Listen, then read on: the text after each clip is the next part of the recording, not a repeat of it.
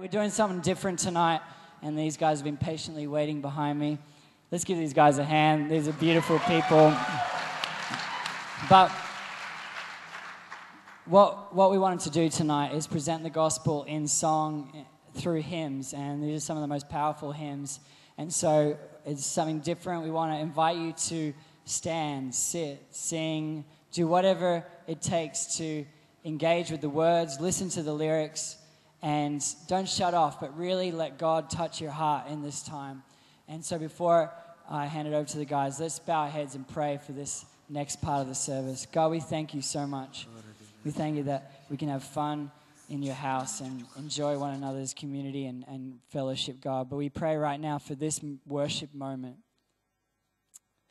We pray right now that we would encounter you in a new and fresh way as a community, Lord, through these incredible hymns that were written hundreds of years ago. We thank you, Lord, that your Holy Spirit would do something in our heart.